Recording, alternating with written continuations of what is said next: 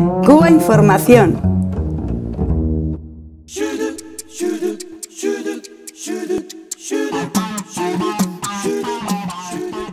Tras la activación del TIAR, el Tratado Interamericano de Asistencia Recíproca de la OEA, de la Organización de Estados Americanos, eh, ya se preveía algún tipo de acción directa contra Venezuela o que preparara el terreno para un escenario incluso de una hipotética intervención.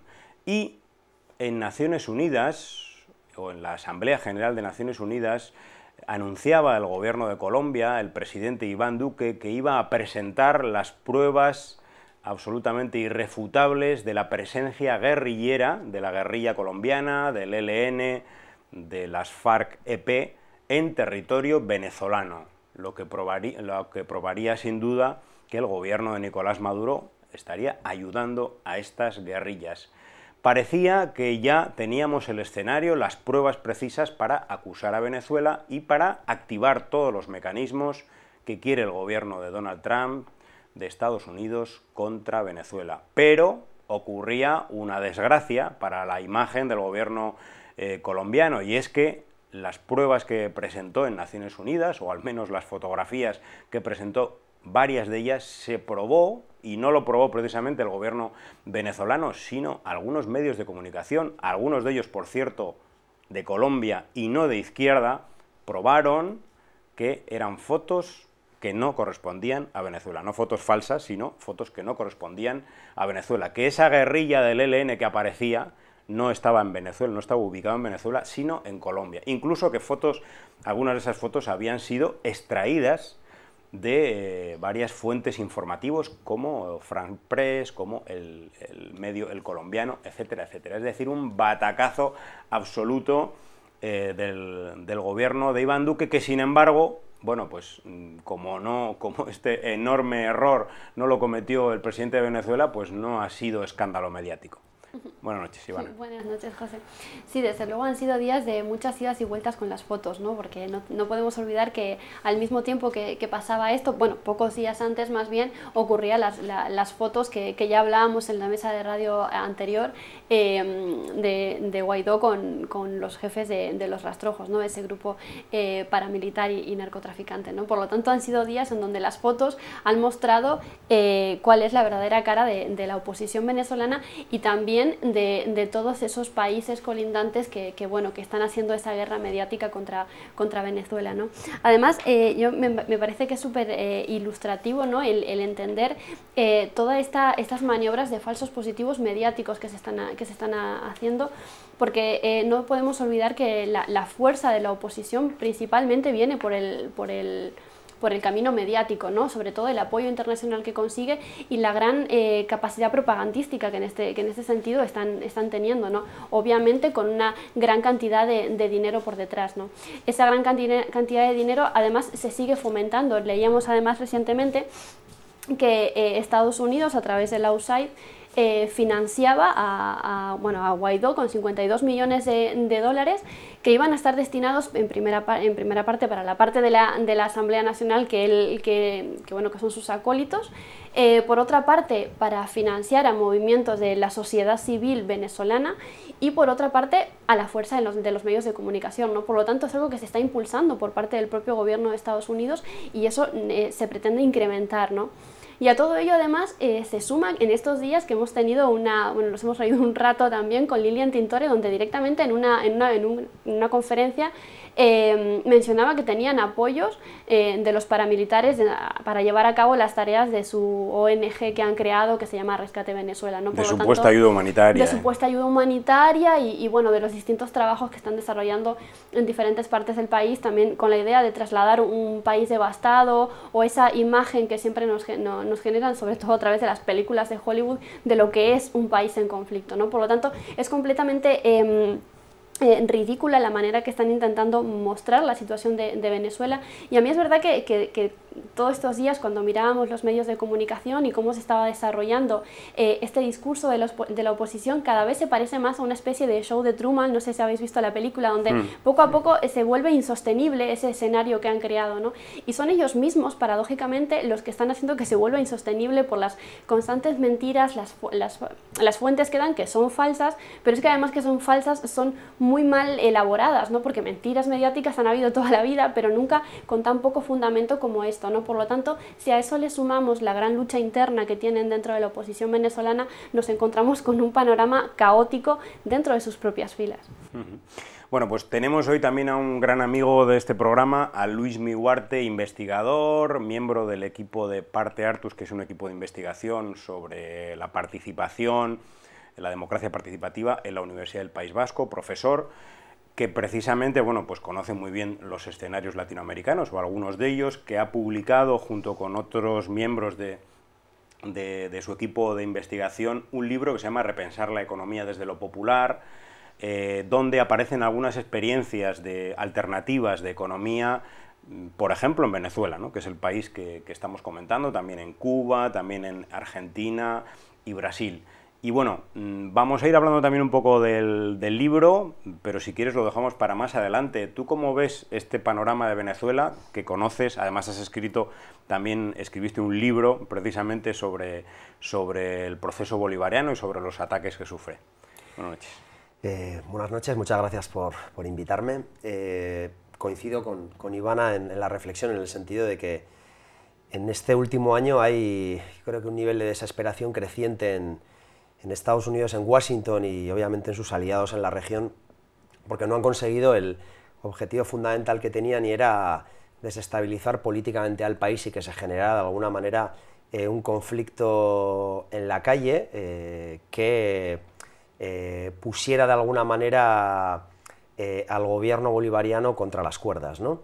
Siendo conscientes de que la situación económica es complicada, que es complicada en gran medida por el bloqueo eh, que está padeciendo el país, eh, muy duro y muy desconocido a nivel internacional, no es como el cubano que es conocido y que todo el mundo no solo lo conoce, sino que lo condena las Naciones Unidas. El caso venezolano es significativo desde ese punto, sufre un bloqueo, pero no eh, es conocido a nivel internacional. ¿no?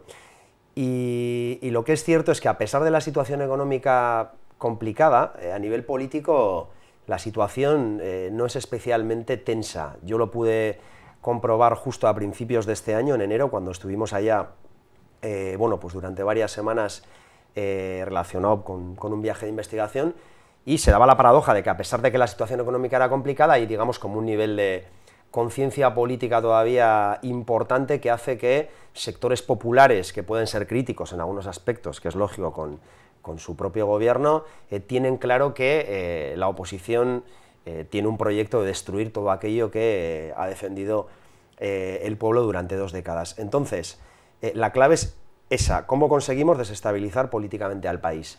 Y lo intentaron a través de todo este experimento ridículo de Guaidó, y durante todos estos meses están de manera cada vez más desesperada buscando alguna vía que pueda quebrantar de alguna manera esa estabilidad política. Esta última creo que refleja esa desesperación porque es incluso una auténtica chapuza, ¿no?